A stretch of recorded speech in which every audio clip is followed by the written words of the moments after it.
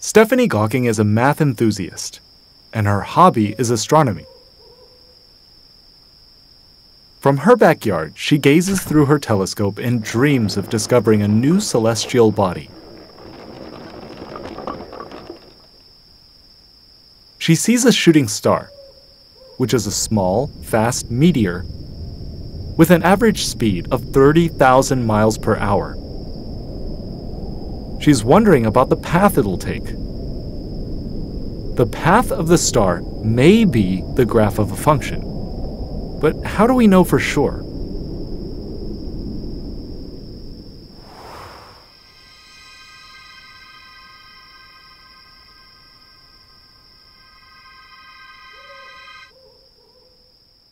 A function is a special relationship between two variables. In this case, the variables show the star's location in the sky. If the graph of the star's path is a function, then for every input, there is a unique output.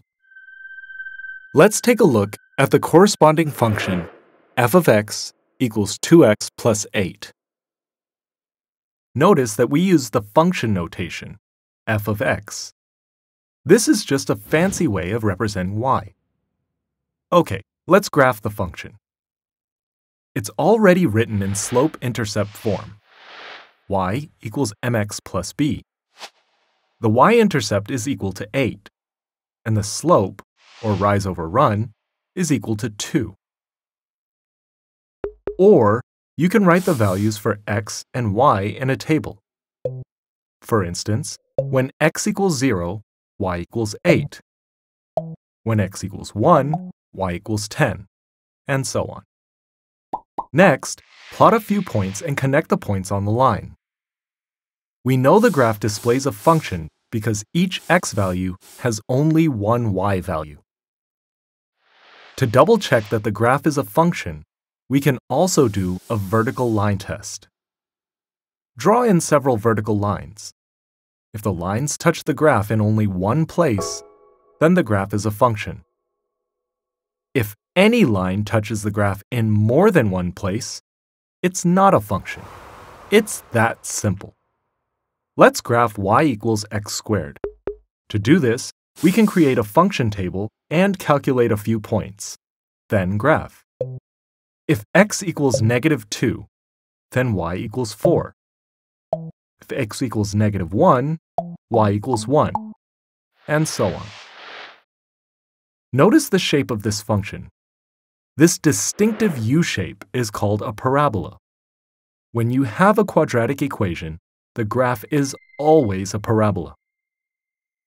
How do we know if a quadratic equation is a function? For each x value, there's only one y value. And the graph passes the vertical line test.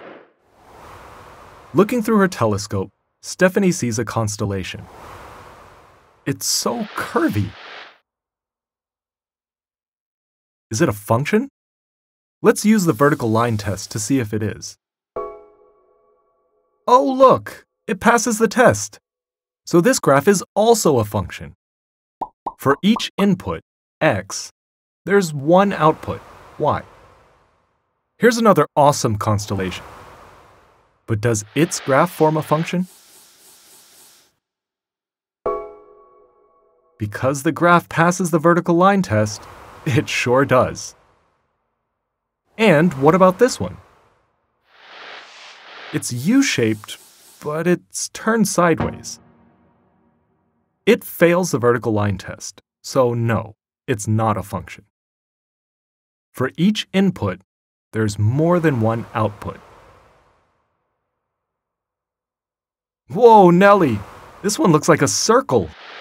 Is it a function? It fails the test, so no way. Stephanie adjusts her telescope. Holy moly, stop the presses! What is that? She thinks she's finally discovered a new celestial body. It's a dream come true. Wait, is that a firefly?